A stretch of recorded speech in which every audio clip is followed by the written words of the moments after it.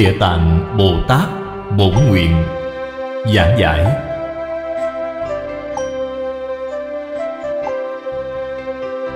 Chủ giảng, Lão Pháp Sư Tịnh Không. Giảng tại Tịnh Tông Học hội Singapore.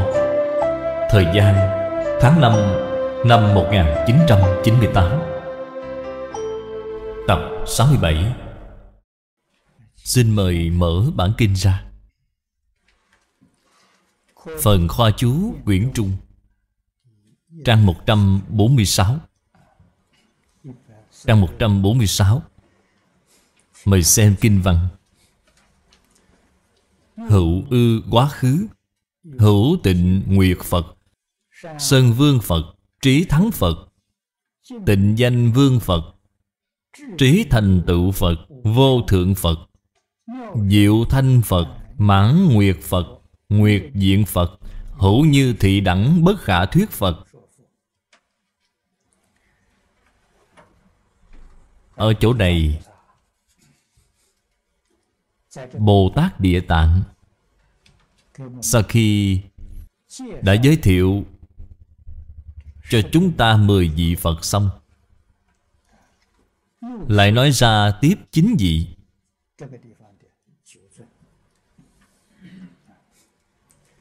Sau cùng, Nói với chúng ta, Số lượng những vị Phật Giống như Ngài kể đây Là vô lượng vô biên.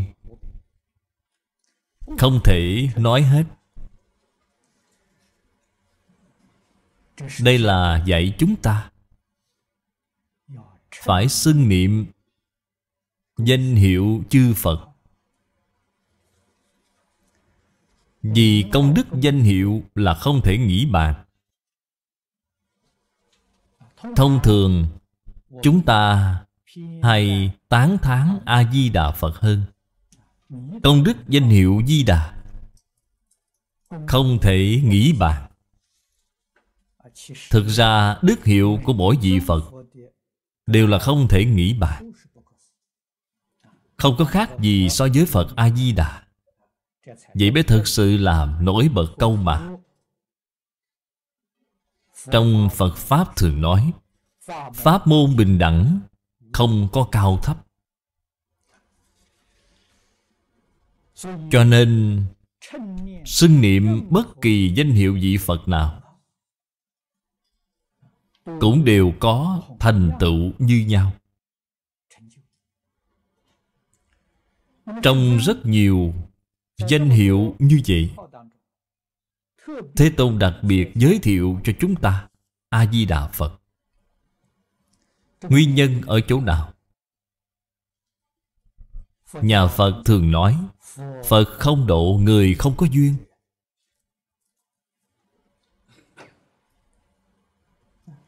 Tuy trên lý là bình đẳng, Nhưng trên sự có khác biệt.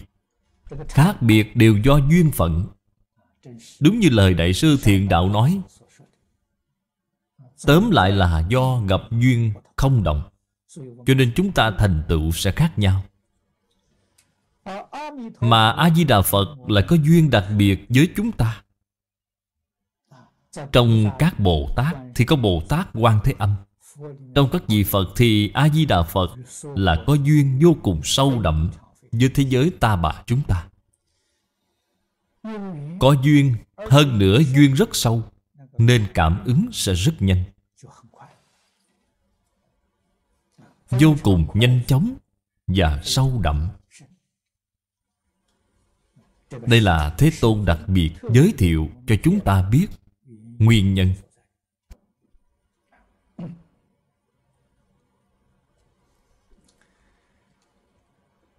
Chính danh hiệu Phật này Pháp Sư Thanh Liên ở chỗ này Có chú giải. Các vị đều có thể tham khảo. Nói sơ lược, Tịnh Nguyệt Phật. Tịnh là thanh tịnh, Nguyệt là ánh trăng. Ánh trăng thanh tịnh, Ban đêm không có người nào mà không thích. Đặc biệt là chúng ta hiện nay cũng gần đến Trung Thu rồi. Ánh trăng đêm Trung Thu hiện ra, Đặc biệt thanh tịnh. Đúng như câu nói trăng thu trong lành. Đó là thí dụ cho ánh sáng.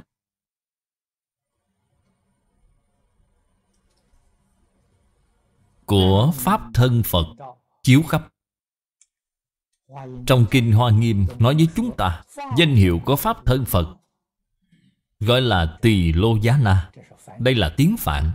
Ý nghĩa của Tỳ Lô Giá Na là Biến khắp mọi nơi. Pháp thân thật sự là biến khắp mọi nơi. Từ đó cho thấy, Tận hư không khắp Pháp giới Chính là một Pháp thân.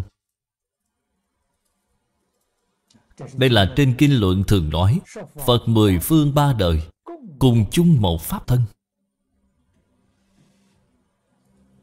Nếu như bạn có thể hiểu được Cùng chung một Pháp thân,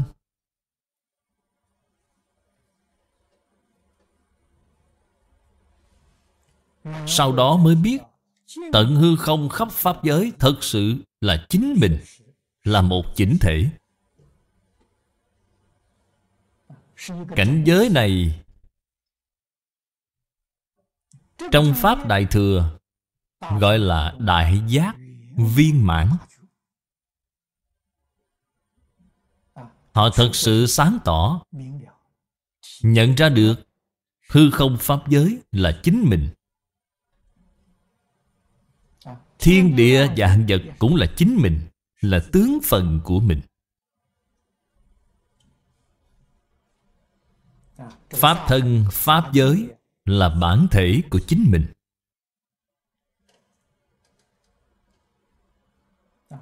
Ánh sáng chiếu khắp Chính là trí huệ chiếu khắp. Thức tâm rộng khắp. Tác dụng rộng khắp. Sau khi vào cảnh giới này rồi ở trong hư không Pháp giới, Trong Pháp giới có quá khứ, Có vị lai. Không có chỗ nào mà không hiện thân. Tùy loại hiện thân. Đạo lý là ở chỗ này. Ở đây Ngài chú giải cũng rất hay. Chú là Tùng chân Thùy ứng, Chân là Pháp thân. Ứng chính là báo thân và ứng hóa thân. Chân thân không có hình tướng. Nó không phải vật chất. Ứng hóa thân có hình tướng.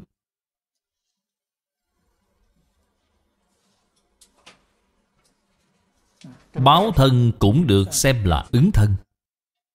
Chúng ta đem phạm vi của nó. Nói rộng hơn một chút.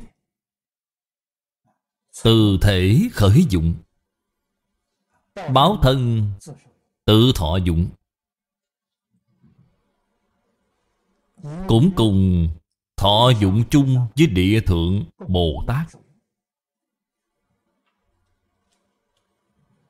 Ứng hóa thân là vì chúng sanh ở phàm thánh đồng cư độ.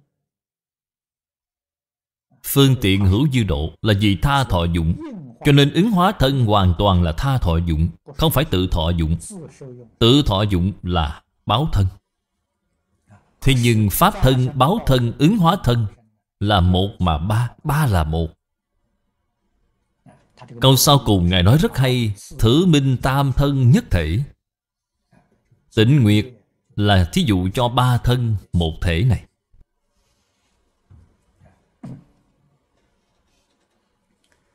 Vị thứ hai Sơn Vương Phật.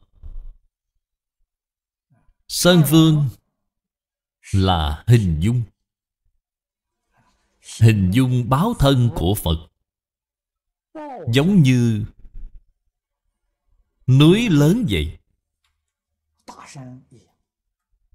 Vương là lớn nhất Là núi lớn nhất ở trong núi. Chúng ta thường gọi nó là núi chúa Tu Di Thông thường là nói báo thân của Phật. Trong kệ tán Phật, Chúng ta tán thán A-di-đà Phật. A-di-đà Phật thân kim sắc. Tướng hảo quang minh vô đẳng luân Bạch hào uyển chuyển ngũ tu di. Bạn thử nghĩ xem cái thân này bao lớn. Bạch hào là hai sợi lông ở trong lông mày Quấn vào nhau. Là bao lớn vậy? Lớn như năm ngọn núi tu di. Bạn nói thân tướng này của Ngài bao lớn chứ? Bạch hào là hai sợi lông trong lông mày quấn lại với nhau. Nó bao lớn? Lớn bằng năm ngọn núi tu di. Bạn nói thân tướng này của Ngài bao lớn? Địa cầu này của chúng ta không thể dung chứa nổi rồi. Cho nên địa cầu nếu ở trong pháp tướng trang nghiêm của Phật E rằng chỉ là một sợi lông mà thôi. Phật có thể hiện thân tướng lớn như vậy, Nên xưng là Sơn Vương Phật. Đây là sự tán thán đối với Phật, Cũng là chứng tỏ năng lực. Thần thông Của Phật Rất thù thắng. Có thể hiện thân lớn như vậy. Vị thứ ba là trí thắng Phật. Trí là Nhất thiết chủng trí.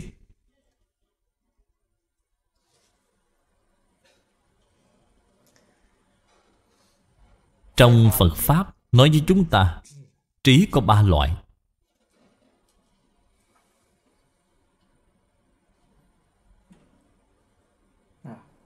Nhất thiết trí Trong chú giải của Ngài nói, Đây là trích dẫn Đại Phẩm Bát Nhã. Tác bà nhã chính là nhất thiết trí. Nhất thiết trí là trí huệ của người nhị thừa. Trí huệ mà thanh văn duyên giác chứng được. Nhất thiết trí là gì? Biết không? Dạng pháp đều không. Người tiểu thừa biết được đạo lý này. Họ sáng tỏ. Thế là Họ liền trụ vào thiên chân niết bàn. Họ trụ vào không?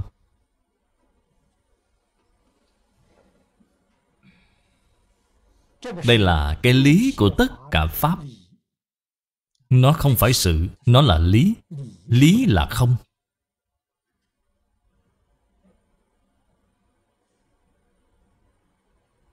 Các vị nhất định phải biết rõ, Cái không này Không phải là tánh không. Họ là biết rõ cái lý Của dạng sự, dạng pháp là không. Tất cả pháp là do nhân duyên sanh, Hoàn toàn không thể được. Cho nên tâm địa của người nhị thừa rất thanh tịnh. Chính là họ biết chân tướng của tất cả Pháp. Chân tướng trên mặt lý. Đạo chủng trí là trí Bồ Tát. Đạo là nói lý luận. Chủng là đủ loại, Là nói mặt sự tướng. Có thể thấy Bồ Tát Tiến bộ hơn nhị thừa quá nhiều. Lý sự của người nhị thừa không được viên dung. Cũng như lời trong Kinh Hoa Nghiêm nói, Họ lý sự có ngăn ngại. Lý sự có ngăn ngại Thì đương nhiên sự sự sẽ càng ngăn ngại hơn. Họ ở trong cảnh giới này. Cho nên người nhị thừa chứng được Là lý vô ngại. Nhưng mà hợp chung lý với sự lại Thì có chướng ngại rồi. Trí huệ của Bồ Tát thì cao hơn. Có thể viên dung lý sự. Làm được lý sự vô ngại. Ở trong Pháp giới tứ vô ngại Họ đạt được ba cái. Lý vô ngại, sự vô ngại Lý sự vô ngại. Đây là đạo chủng trí. Chúng là đủ loại. Nhất thiết chủng trí Đây là chứng được toàn bộ viên mãn sự vô ngại. Không những là lý sự vô ngại mà xử xử đều vô ngại. Cho nên đây gọi là nhất thiết chủng trí. Nhất thiết chính là nhất thiết trí Nói ở phía trước. Chủng trí chính là đạo chủng trí Mà Bồ Tát chứng được.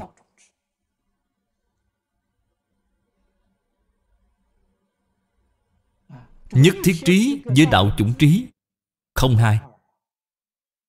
Có thể dung hợp với nhau liền gọi là nhất thiết chủng trí. Nhất thiết chủng trí là cảnh giới Mà trên quả địa Như Lai chứng được. Trí này rất thù thắng. Hơn hẳn nhị thừa, Hơn hẳn Bồ Tát. Cho nên gọi là Trí thắng Phật.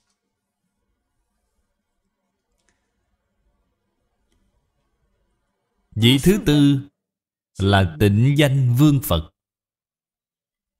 Tịnh là thanh tịnh. Vương là thí dụ cho tự tại.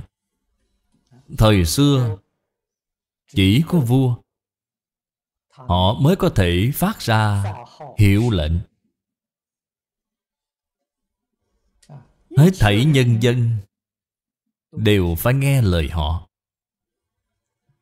Người nghe theo người khác là người không được tự do Người phát ra hiệu lệnh là được tự do. Cho nên gọi họ là vương. Chữ vương trên kinh Phật Có nghĩa là tự do, tự tại. Nghĩa là mình có thể làm chủ được. Tịnh danh là thanh tịnh. Phiền não đoạn rồi. Thanh tịnh liễu thoát sanh tử. Người này được thanh tịnh rồi.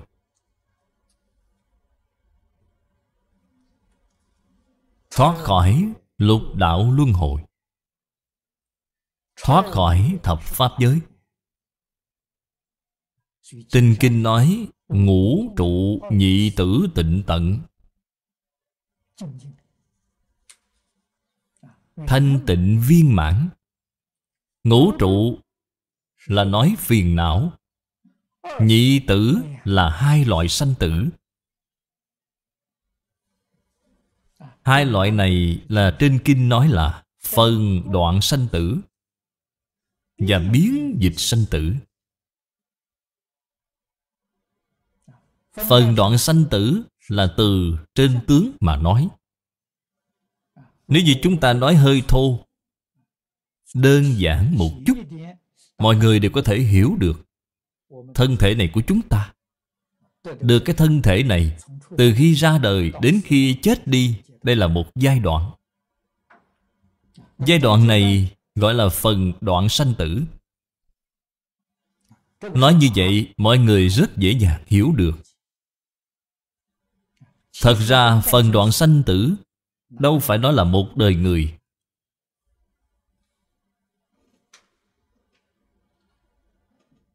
Nếu như các vị suy nghĩ thật kỹ, Chúng ta hiện nay Một năm là một giai đoạn. Qua một năm này rồi, Thì năm này xem như chết rồi. Năm tới coi như là sanh. Quan sát tinh tế hơn nữa, mỗi tháng đều có sanh tử. Mỗi ngày đều có sanh tử loại hiện tượng này đều là thuộc về hiện tượng phần đoạn sanh tử. Phần đoạn sanh tử nói đến cực điểm là sát na sanh diệt.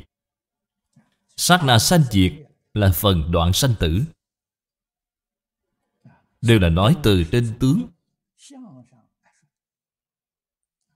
Biến dịch sanh tử Không phải nói từ trên tướng. Nói thật ra, biến dịch không có sanh tử.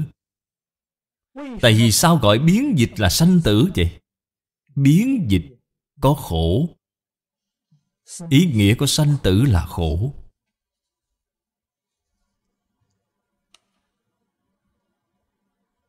Chúng ta lấy Pháp thân đại sĩ Trong Kinh Hoa Nghiêm để nói. Các ngài không còn phần đoạn sanh tử. Giống như thế giới Tây Phương cực lạc Người giảng sanh về nơi đó. Người nào cũng là vô lượng thọ. Người nào cũng được thân kim can bớt hoại.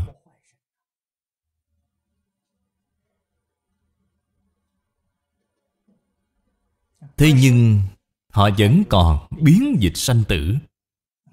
Từ đâu nhìn thấy được biến dịch sanh tử? Tứ độ tam bối cũ phẩm. Đó chính là biến dịch. Bạn từ hạ phẩm Chuyển biến thành trung phẩm. Từ trung phẩm chuyển biến thành thượng phẩm. Đây gọi là biến dịch. Cảnh giới của bạn không ngừng nâng cao thêm. Thế giới hoa tạng trong Kinh Hoa Nghiêm những vị Pháp thân đại sĩ này. Không còn phân đoạn sanh tử nữa rồi. Nhưng Trên Kinh nói với chúng ta Họ có 41 cấp bậc. Thập trụ Thập hạnh, thập hồi hướng Thập địa, đẳng giác.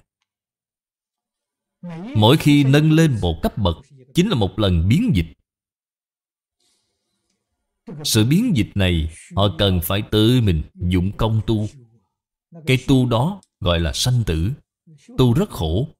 Họ phải tu hành Họ phải dụng công Mới có thể nâng cao cảnh giới của chính mình lên được. Cho nên biến dịch thật sự không phải sanh tử.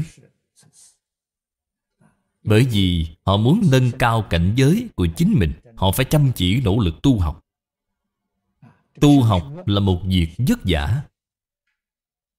Nên chúng ta thí dụ nó giống như là sanh tử cho nên hai loại sanh tử đều hết rồi, Đều dứt rồi. Đó là địa vị gì vậy? Quả địa như lai. Là Phật quả viên giáo. Làm sao để biết? Bồ Tát đẳng giác Vẫn còn một phẩm sanh tướng vô minh Chưa đoạn dứt. Cho nên vẫn còn một lần biến dịch sanh tử. Bồ Tát đẳng giác vẫn còn một lần. Đến quả địa như lai Mới là hoàn toàn không còn nữa. Cho nên khi chúng ta thấy danh hiệu Tịnh danh vương Phật này, Đó là Phật quả cứu cánh viên mãn của viên giáo, Thì mới xứng với danh hiệu này. Vị thứ năm là Trí thành tựu Phật. Ý nghĩa của danh hiệu này Là Lợi ích chúng sanh. Như danh hiệu Tịnh danh vương Phật này Là hoàn toàn Lập nên từ tự lợi, Từ đoạn phiền não, Từ trên đoạn chứng. Còn trí thành tựu, Đây là dựa trên độ hóa chúng sanh Mà nói. Trí là trí huệ, Hai trí quyền và thật. Lời trên Kinh Bát Nhã nói, Bát Nhã vô tri. Vô tri là căn bản trí.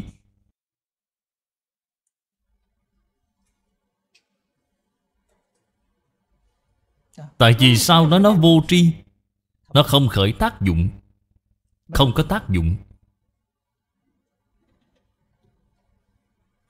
Không có khởi tác dụng, Tại vì sao lại gọi nó là căn bản trí?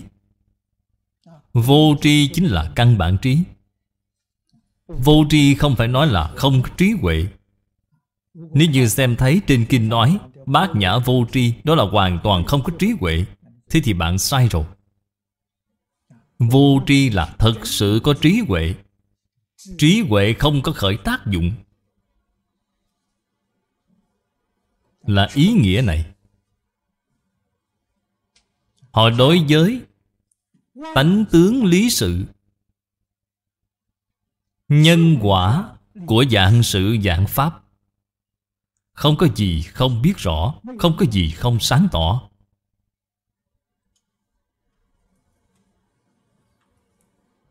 Nhưng cảnh giới của bản thân họ là như như bất động. Chúng ta gọi nó là không khởi tâm Không động niệm Không phân biệt, không chấp trước. Ở trong trạng thái này gọi là vô tri.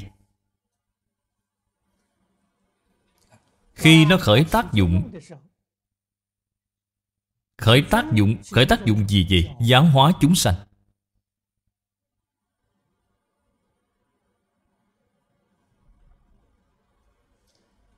Trả lời nghi ngờ Của chúng sanh, Lúc này mới hiển bày ra là Vô sở bất tri. Cho nên vô sở bất tri Gọi là quyền trí. Trong Phật Pháp thường đó là phương tiện thiện xảo. Phương tiện thiện xảo là thuộc về Sự ứng dụng của trí huệ. Khi ứng dụng là không có gì không biết. Không có gì là không biết, Có thể thấy chính là sự biểu hiện của vô tri. Hai câu nói này trên Kinh Bát Nhã. Chúng ta phải hiểu rõ Nhất định không được hiểu lầm. Cho nên vô tri là tự thọ dụng Vô sở bất tri là tha thọ dụng Chư Phật Bồ Tát Ở trong thập Pháp giới, Trong lục đạo, Độ hóa tất cả chúng sanh, Bất luận là hiện thân tướng như thế nào. Điểm này chúng ta phải nhớ kỹ, Phật không có thân tướng. Pháp thân không có thân tướng. Thân tướng là tùy loại mà hiện. Không những thân ứng hóa là tùy loại hiện, Mà báo thân cũng là tùy loại mà hiện.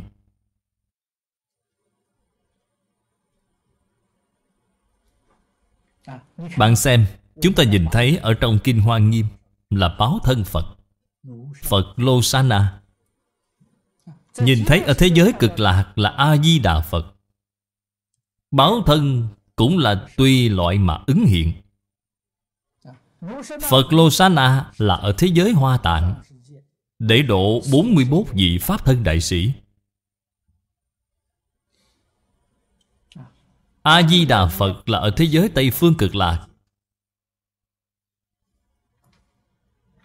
Để độ những vị Bồ Tát cõi Thực báo trang nghiêm.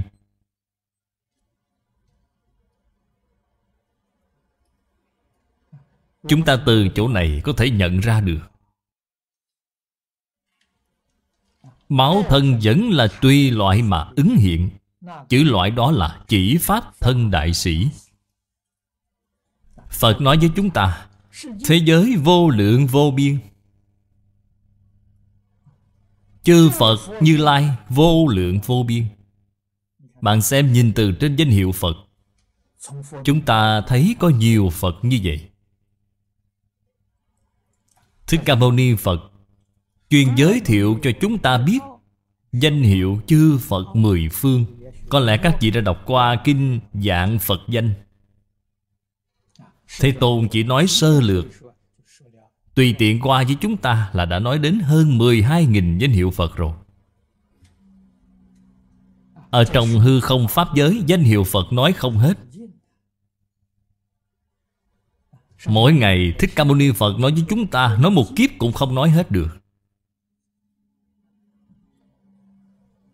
Vậy là chứng tỏ báo thân Phật Cũng không chỉ có một Tùy theo tình trạng khác biệt của mỗi thế giới.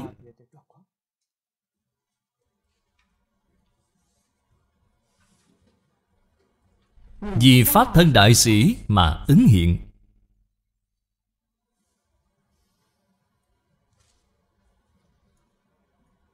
Nếu như ứng hiện, Vì những phàm phu Cõi phương tiện, Cõi đồng cư này, Thì chính là ứng hóa thân. Đây là trí thành tựu như lai. Vô thượng Phật. Vô thượng là tôn xưng đến cực điểm.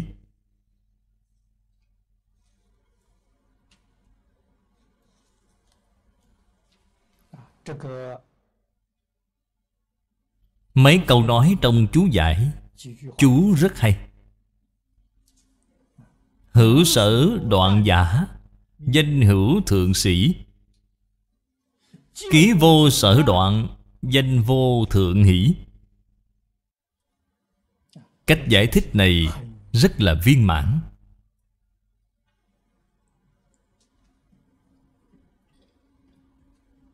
Bồ Tát đẳng giác vẫn còn đoạn. Vẫn còn một phẩm sanh tướng vô minh để đoạn. Đó gọi là thượng sĩ, Không thể gọi là vô thượng được. Họ vẫn còn cái để đoạn. Đến quả địa như lai Thì không còn gì để đoạn nữa rồi. Cái cần đoạn, Thấy đều đoạn sạch sẽ rồi. Không còn gì để đoạn nữa, Nên xưng là vô thượng. Cho nên vô thượng cũng là cách tôn xưng Đối với quả vị Phật cứu cánh. Diệu thanh Phật Là tán thán âm thanh của Phật. Viên mãn, Vi diệu. Phật dĩ nhất âm nhi thuyết Pháp. Chúng sanh tùy loại các đắc giải Là vi diệu. Âm thanh Phật thuyết Pháp nghe Vui tai, Đó là mỹ diệu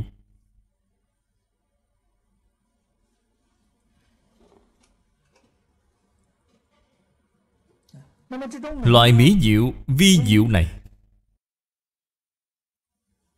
Từ đâu mà có được vậy?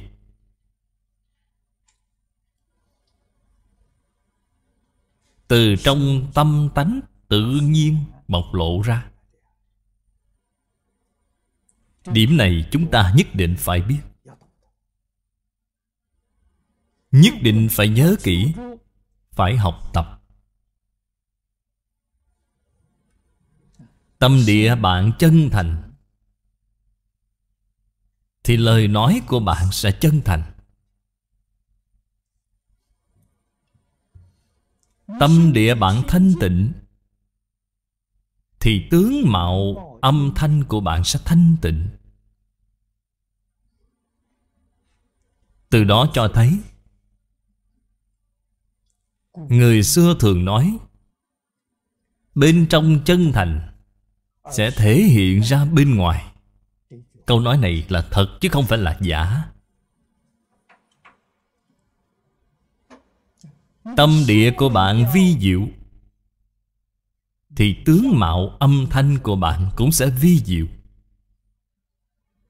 Tâm của bạn là chân, thiện mỹ, Thì tướng mạo âm thanh của bạn cũng biểu hiện ra là chân thiện mỹ.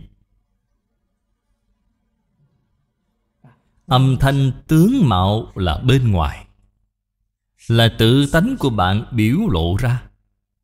Nếu bạn muốn tướng tốt, thì tâm của bạn phải tốt tâm không tốt mà muốn có tướng tốt là không có đạo lý này rồi. Chỉnh sửa trang điểm như thế nào cũng uổng công. Phật ở trên kinh thường hay nói, tướng chuyển theo tâm. Không những thân thể, tướng mạo của chúng ta Chuyển theo tâm.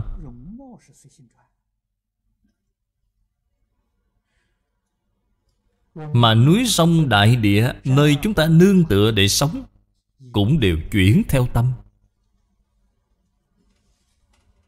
Cho nên tâm tốt, Không những tướng mạo của bạn sẽ tốt. Tướng mạo tốt là có phước. Nơi này có phước tướng. Nơi này cũng có phước. Đất phước người phước ở. Người phước ở đất phước, Đất cũng có phước. Đất làm sao có phước được? Đất cũng là chuyển theo tâm.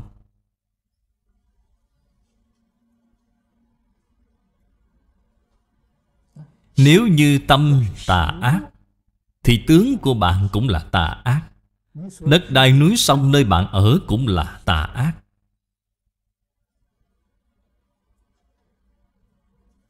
Đạo lý này, Đáng để chúng ta phản tỉnh lại một cách sâu sắc. Có rất nhiều người nói, Địa cầu này hiện nay bị bệnh rồi Môi trường sinh thái trên địa cầu Đã xảy ra sự biến đổi rất lớn Vì sao nó bị bệnh vậy? Là vì sao lại thất thường vậy? Bạn hãy suy nghĩ những đạo lý mà Phật đã nói này Do tánh người bất thường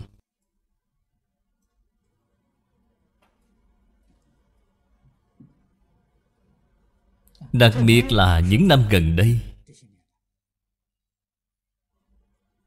Chúng ta thường hay đến các nơi trên thế giới để đi du lịch. Chúng ta tiếp xúc được tất cả người sự vật, Phát hiện thấy tâm người. Bao trao. Bất an. Một mảy may kích động Cũng không thể chịu được. Có một chút xíu bất như ý Thì sân hận liền nổi lên ngay. Đây là thất thường.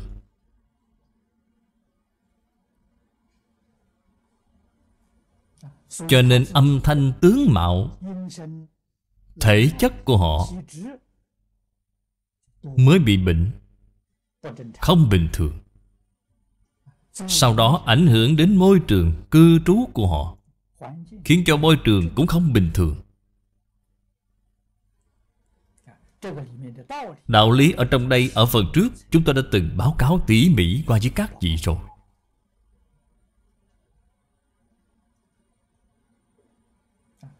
Dùng cách nói của nhà khoa học, Nguyên lý của nó Chính là Hiện tượng sống.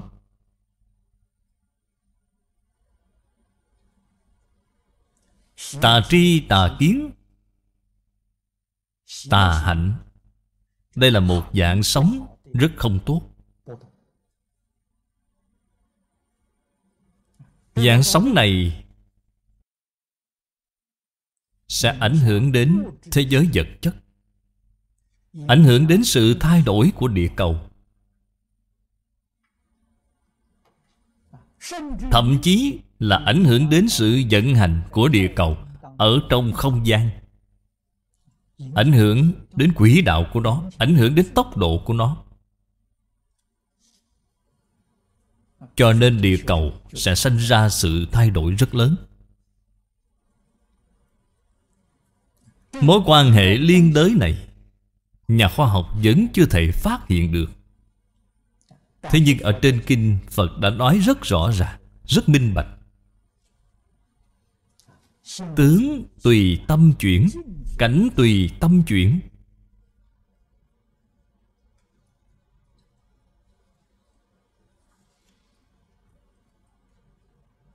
Ngày nay, Có rất nhiều người phát hiện tình trạng bệnh nghiêm trọng.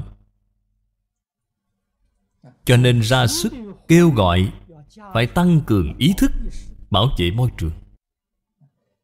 Có thu được hiệu quả hay không? Chúng ta ở bên cạnh quan sát khách quan, thấy không thể thu được hiệu quả rồi. Nguyên nhân do đâu? Họ trị ngọn chứ không trị gốc. Họ không biết được nguyên nhân. Gốc rễ của sự thay đổi Môi trường tự nhiên là do tâm người. Họ không biết được.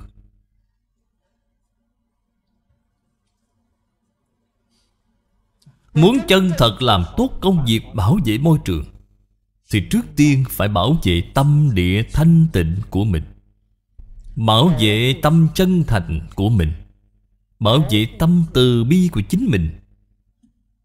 Vậy mới được cứu vớt. Đây chính là trị cây gốc. Trị cả gốc lẫn ngọn, thì thu hiệu quả rất lớn. Dạ. cũng rất nhanh chóng. Nhưng rất đáng tiếc, nhà khoa học hiện nay. Họ không biết nguyên nhân căn bản này.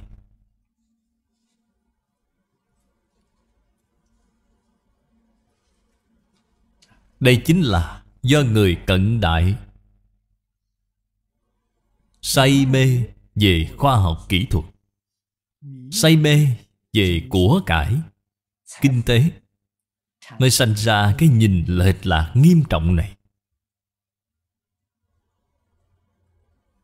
Gây nên hiện tượng thất thường của toàn bộ hệ sinh thái hiện nay.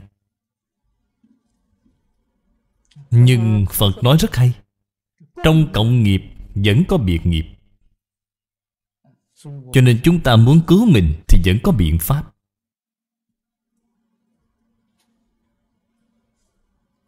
Tuy là cứu mình, cũng cần có tâm nguyện chân thành giúp đỡ người khác. Phải thật làm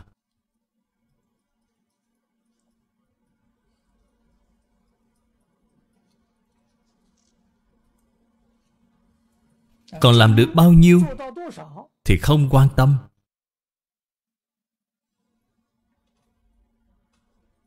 Tai nạn bức bách ngay trước mắt.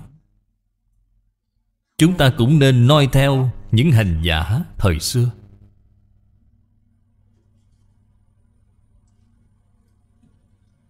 Họ có tâm từ bi sâu nặng. Biết rõ, nó không thể làm mà vẫn cứ làm. Chúng ta vẫn phải làm. Không cần quan tâm. Đến chính mình. Phải vì tất cả chúng sanh. Vì lợi ích của chúng sanh, vì hạnh phúc của chúng sanh. Hy sinh cả mạng sống của mình cũng không hề hối tiếc. Chúng ta vừa mới nói qua, hai loại sanh tử đều không phải là thật.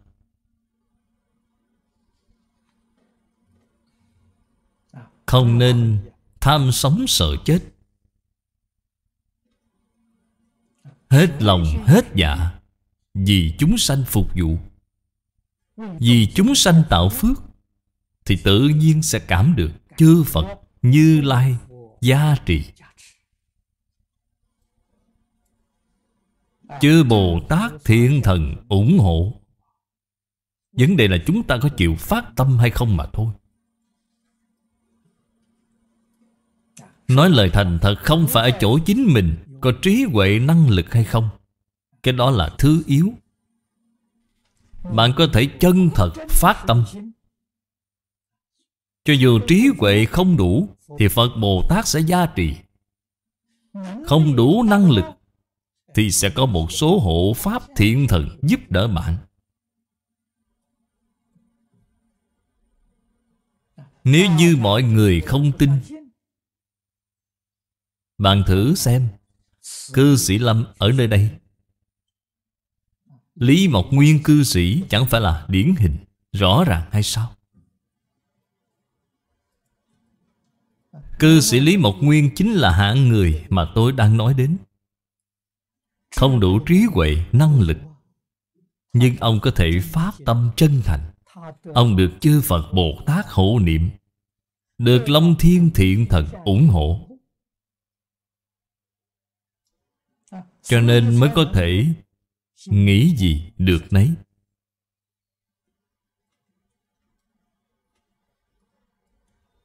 Nhà Phật thường nói, Ở trong cửa Phật có cầu ác ứng.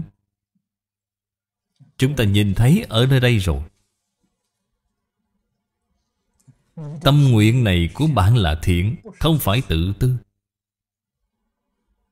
Là vì Phật Pháp thường trụ ở thế gian là vì chúng sanh. Liễu sanh thoát tử ra khỏi tam giới, được độ thành phật. Tâm nguyện này không có khác gì so với chư phật như lai. Cho nên phát ra loại tâm nguyện này mới có thể cảm động chư phật bồ tát. Là cùng tâm cùng nguyện, cùng giải cùng hành với chư phật bồ tát. Thì tự nhiên sẽ gia trị được thôi. Nghĩa là tâm của bạn, nguyện của bạn Sống tư tưởng của bạn. Tần số của sống Cùng tần số với sống tư tưởng của chư Phật. Cùng tần số thì Các ngài sẽ tiếp nối được thôi. Đây chính là Đạo lý Phật lực gia trì. Cho nên mới có thể giúp bạn Nghĩ gì được đó?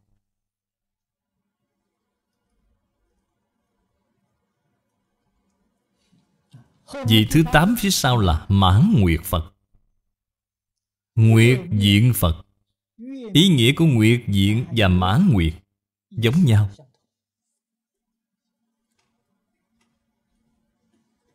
Trong chú giải của Ngài cũng nói Đại ý của hai vị Phật này giống nhau. Mãn Nguyệt. Âm lịch của chúng ta gọi là trăng rằm.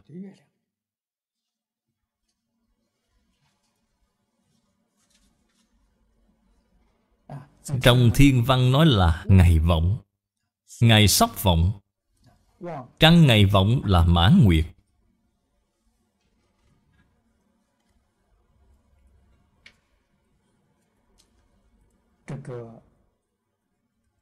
Trên Phật Kinh, Chúng ta cũng thường hay xem thấy. Tông kệ tụng tán Phật nói là, Phật diện thanh tịnh như mãn nguyệt.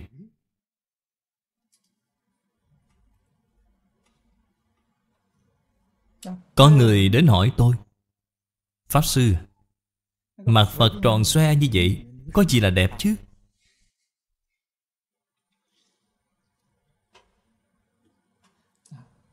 Người này chưa thể nhận ra được Ý nghĩa đích thực trong câu nói này của Phật. Cho nên nguyện giải Như Lai chân thật nghĩa Là vô cùng quan trọng. Trăng tròn là thí dụ cho điều gì? Thí dụ cho không có khiếm khuyết. Bạn nhìn thấy tướng của Phật đẹp, Bạn không thể tìm ra được một mảy may khuyết điểm nào? Đây không phải là gương mặt của Phật, là tròn xoe. Vậy là bạn hoàn toàn nghĩ sai rồi. Cách giải thích này là nương theo văn mà giải nghĩa. Thì ba đời chư Phật cũng bị hàm oan. Phật không phải ý này. Ý nghĩa của chữ mãn là thí dụ cho viên mãn, Không có khiếm khuyết. Đây là điều chúng ta nhất định phải hiểu. Y văn giải nghĩa sẽ luôn luôn là hiểu sai. Hiểu sai rồi thì chẳng muốn học theo Phật nữa. Bởi vì học Phật, tương lai thành Phật, Trở thành cái hình dạng này thì khó xem. Nên họ không học Phật nữa. Vì vậy cần phải hiểu ý nghĩa chân thật của Ngài. Đây chính là viên mãn không có khiếm khuyết. Tại vì sao Phật có thể viên mãn? Tại vì sao lại không có khiếm khuyết vậy? Vì Phật là chứng được Tự tánh viên mãn. Cho nên khi biểu hiện ra là Đại viên mãn, Vừa mở đầu bản kinh, đã nói với chúng ta là đại viên mãn rồi. Đây là điểm chúng ta cần phải nhớ kỹ nó. Kinh văn này ở chỗ nào?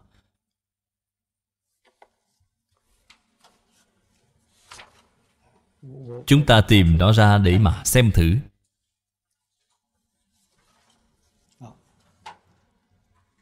Ở trang Thứ 13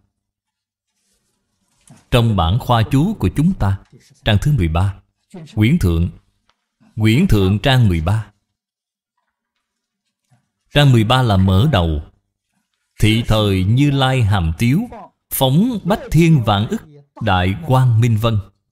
Câu này là nói chung Sau đó phía sau đã nói với chúng ta là 10 loại Ý nghĩa của chữ thập là tượng trưng là cùng ý nghĩa với chữ thập nói trong Kinh Hoa Nghiêm. Bạn xem, viên mãn, từ bi, trí huệ, bát nhã, tam muội, kiết tường, phước đức, công đức, quy y, tán thán.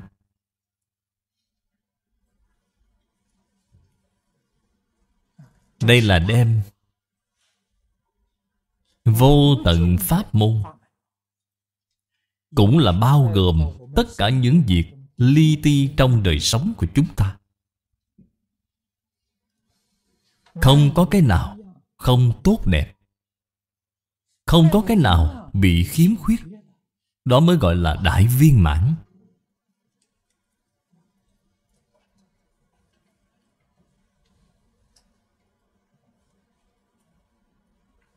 Hiện nay chúng ta nói một cách chung chung Đời sống của chúng ta Công việc của chúng ta. Chúng ta mỗi ngày tiếp xúc với bên ngoài Tiếp xúc với mọi người, mọi việc, mọi vật.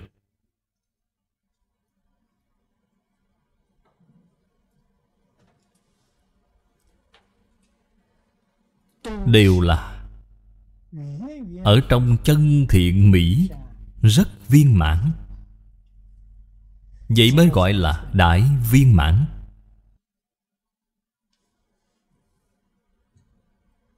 Là giống như trên kinh nói với chúng ta Mười loại viên mãn này. Mười loại này ở trong đời sống chúng ta Từng ly từng tí, Bất kỳ một chút nào cũng đầy đủ viên mãn.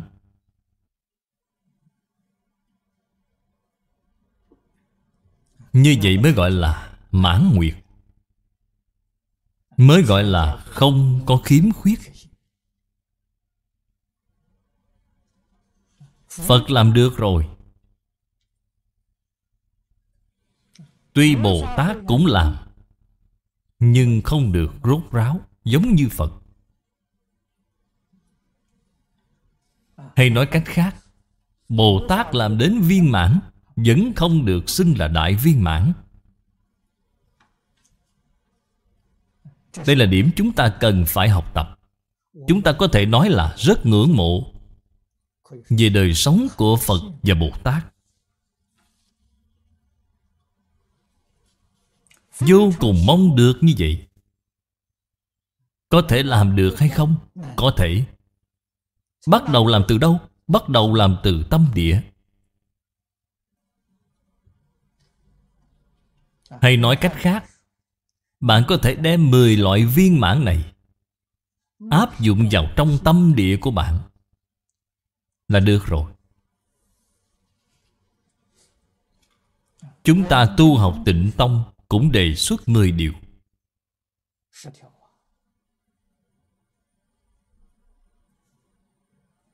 Dựa vào trong hoàn cảnh đời sống hiện nay của chúng ta Chúng ta đề ra nguyên tắc giữ tâm. Ở trong đời sống thường ngày chúng ta dùng tâm gì? Chân thành Thanh tịnh, bình đẳng, chánh giác, từ bi. Chúng ta phải dùng cái tâm này. Nếu như chúng ta khởi tâm động niệm Trái ngược lại với năm điều này Thì hãy nhanh chóng điều chỉnh nó trở lại Là tu tâm. Đây gọi là tu từ căn bản.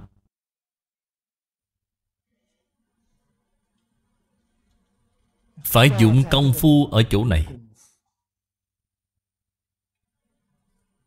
Ở trong đời sống, Khi tiếp xúc với quảng đại quần chúng, Cũng tức là tu ở trên sự, Tu ở trên tướng, Chúng ta nắm vững nguyên tắc. Nhìn thấu buông xả, Tự tại tùy duyên. Nắm vững bốn nguyên tắc này. Và lấy niệm Phật Làm chỗ quy y cứu cánh. Đại quy y trong quang minh vân, Đại quy y của chúng ta là niệm Phật.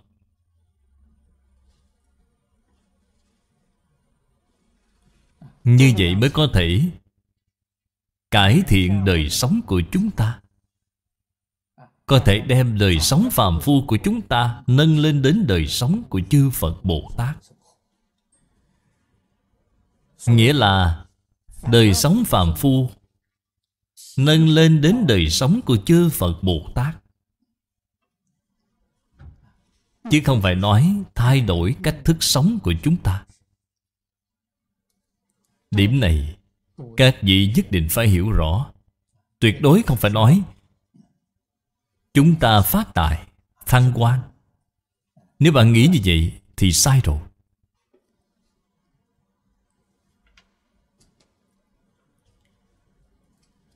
Nghèo khó. Vẫn cứ sống đời sống nghèo khó. Phú quý vẫn cứ sống đời sống phú quý. Như vậy thì rốt cuộc là thay đổi ở đâu? Thay đổi ở trong tâm Thay đổi quan niệm. Sau khi thay đổi như vậy rồi Thì sẽ hoàn toàn khác So với cách nghĩ, cách nhìn của người thông thường.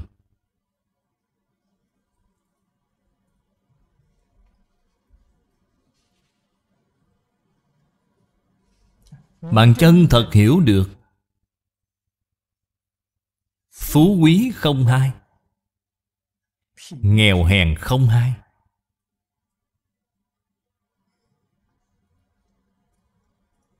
Thậm chí là Chúng sanh và Phật không hai Lý sự không hai Tánh tướng không hai Bạn đi vào pháp môn không hai Vào pháp môn không hai là cảnh giới gì? Trên Kinh Hoa Nghiêm nói là nhất chân Pháp giới. Nhất chân Pháp giới là đời sống của chư Phật Như Lai.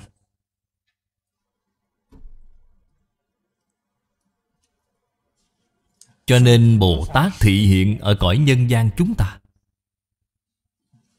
Không phải vị Bồ Tát nào cũng là thị hiện, giàu sang, thuộc bực. Không phải vậy. Có rất nhiều vị Bồ Tát thị hiện làm người ăn mày, Thị hiện đi làm công. Các ngài vào pháp môn không hai, Các ngài vô cùng tự tại Ở trong truyện sử Phật giáo có ghi chép, Hầu hết các vị đều biết Hàng Sơn Thập Đắc Là do văn thù phổ hiền hóa thân đến Các ngài sống là đời sống gì? Là hình ảnh gì? Căn cứ trong sách ghi chép, Họ sống rất lôi thôi lết thết. Điên điên khùng khùng. Đồ ăn dơ bẩn cỡ nào họ cũng ăn. Không hề để ý đến vệ sinh. Người thông thường chúng ta xem họ là ăn mày. Nhưng họ sống là đời sống Phật Bồ Tát. Họ sống là đời sống của nhất chân Pháp giới. Vào đầu năm dân quốc.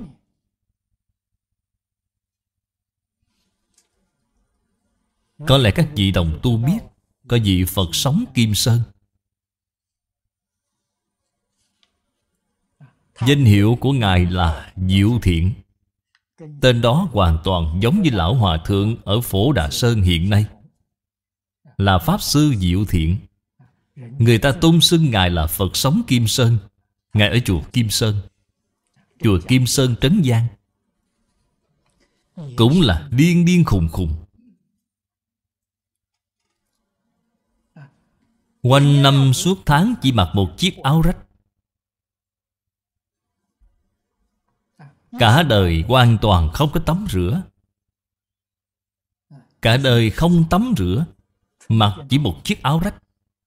Rất là kỳ lạ, Mùa hè ngày cũng không nóng, Mùa đông cũng không lạnh. Ngài chỉ có một bộ y phục. Ngoài ra không có gì cả. Ngài sống rất tự tại.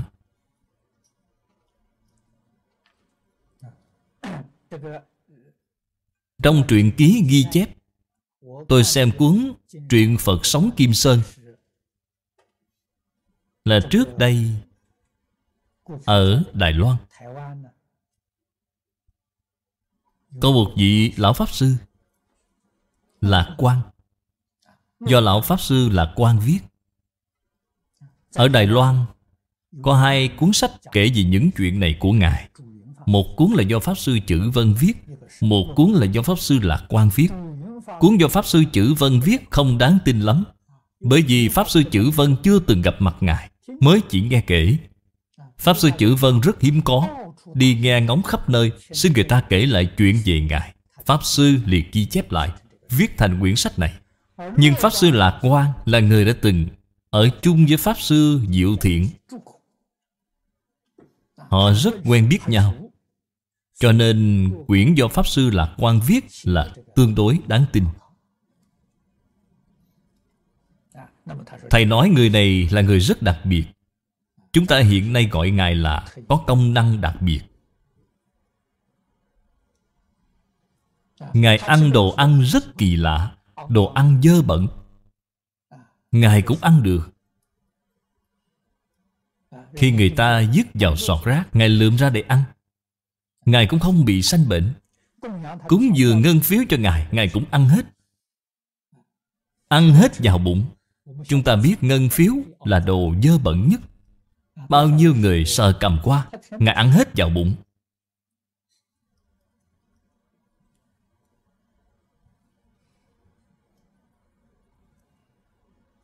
Cả đời Ngài không tắm rửa,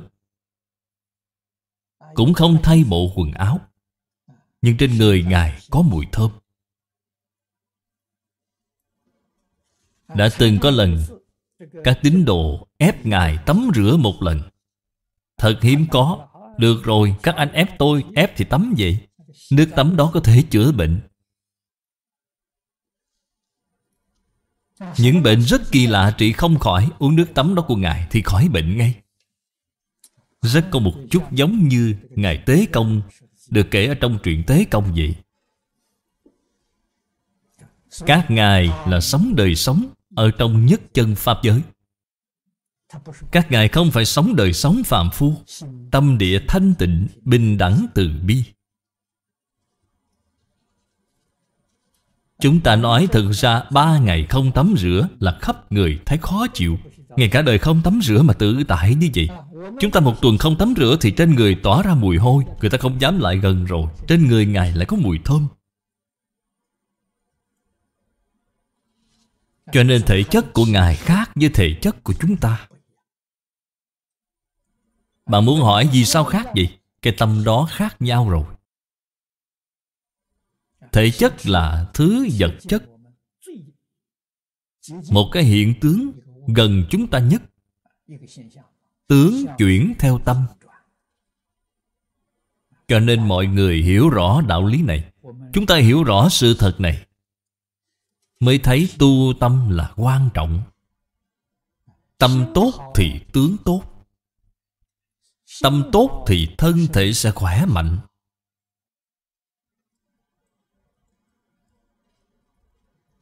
Tâm tốt là tâm vì chúng sanh, Vì xã hội.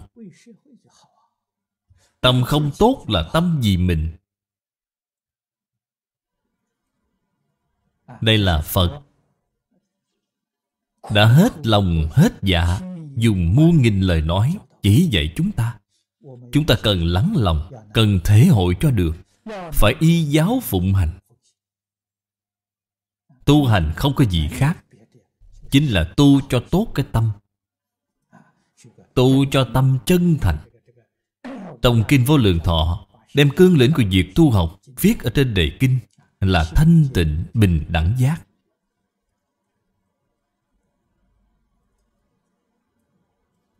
Dựa theo cương lĩnh này Mà tu là tốt rồi. Thanh tịnh bình đẳng giác Chính là tâm Phật.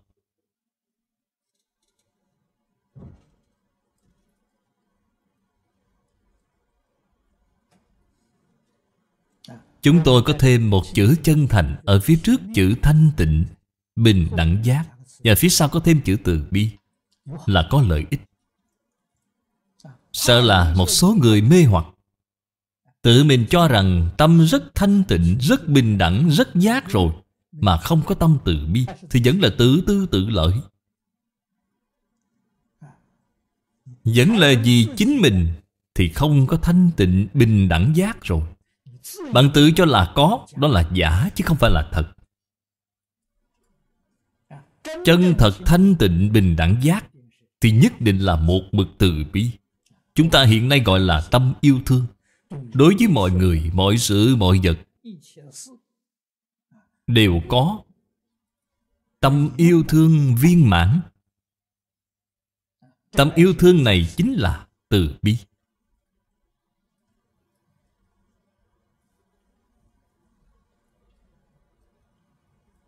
Hai chữ bác ái cũng đều là xuất hiện ở trong Kinh Vô Lượng Thọ.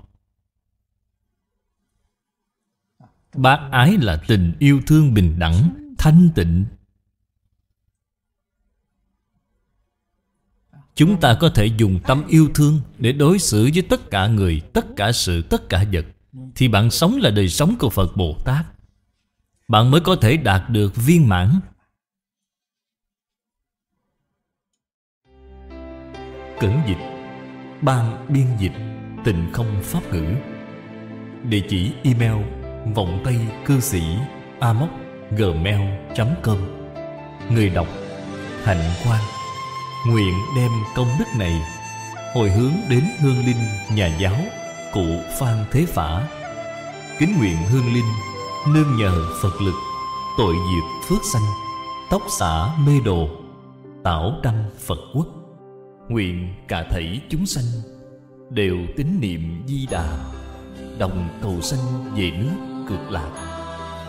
Nguyện đem công đức này Trang nghiêm Phật tịnh độ. Trên đền bốn ơn nặng, Dưới cứu khổ ba đường, Nếu có ai thấy nghe, Đều phát tâm Bồ Đề.